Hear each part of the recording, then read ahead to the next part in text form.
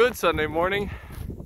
I'm just about a mile and a half into a hike I'm doing this morning.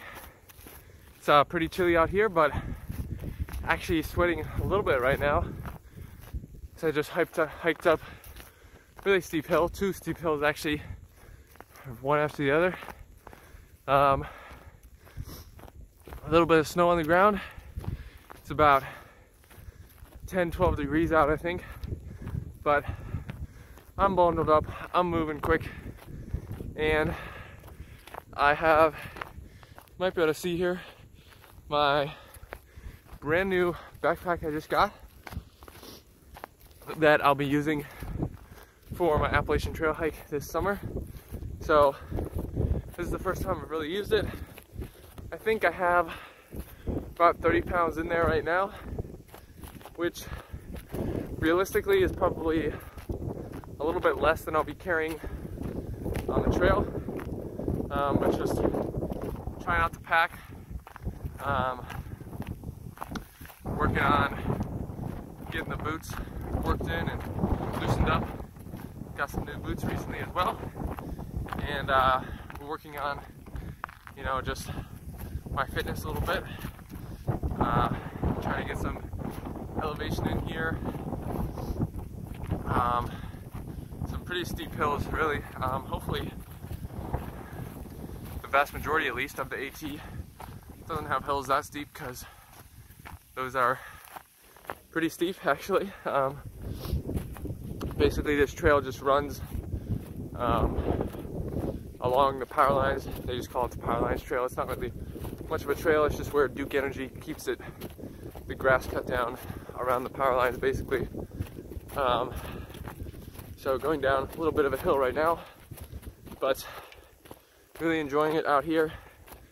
Sun's out, brightening up the world, and uh, just getting some miles in.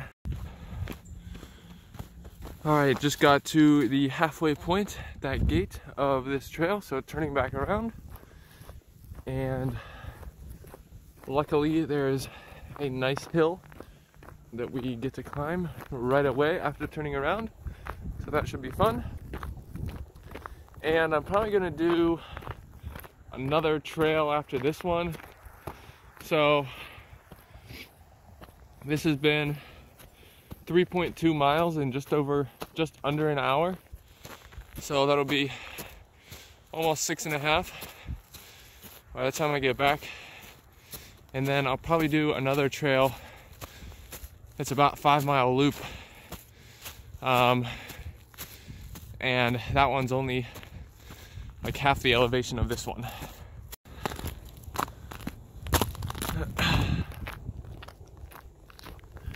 Finished up the Power Lines Trail a little bit ago, and I'm on to that second trail. Um, so a little bit more than seven miles, about seven and a quarter miles total. And we're at one hour, about, or sorry, two hours, 15 minutes in. So, um, pretty happy with the pace, especially given all the elevation gain there is. Um, so just gonna keep on going.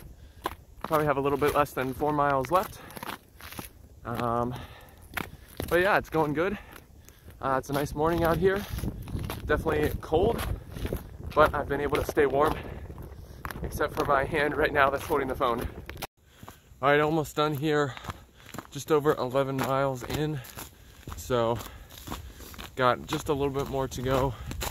One last little climb and then we'll be back at the car and call it a day on this one.